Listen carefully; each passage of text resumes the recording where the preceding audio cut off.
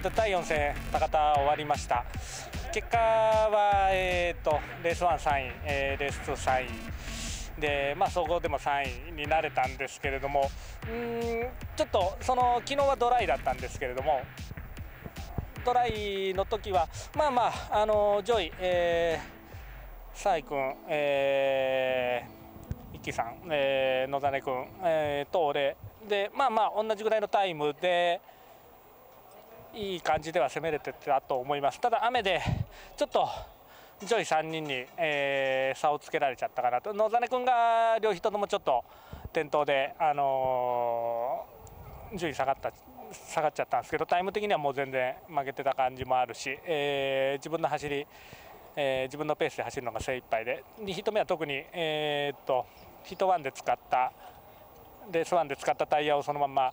えー、使うことでちょっとタレとかをあの路面ほとんどコーナーとかはドライ路面で、えー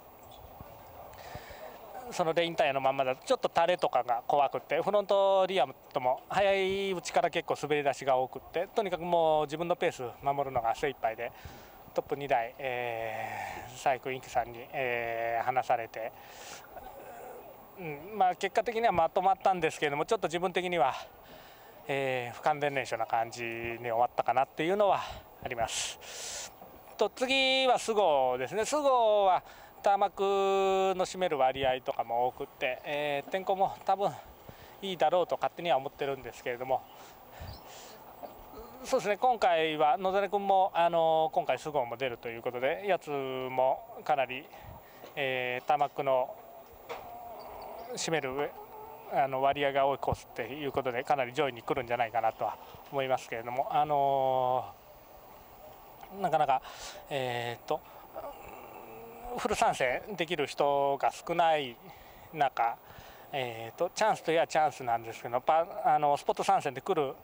えー、メンツが結構早い連中が多くてそういった意味では、えー、そういう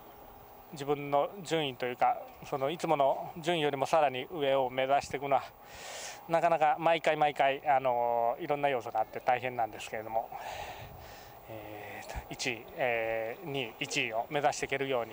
えー、菅生まで、えー、ちょっと1か月以上ありますんで準備して、えー、万全の体制、えー、自分も、えー、マシン、えー、込みで、えー、と万全の状態で、えー、菅生に挑みたいなとは思います。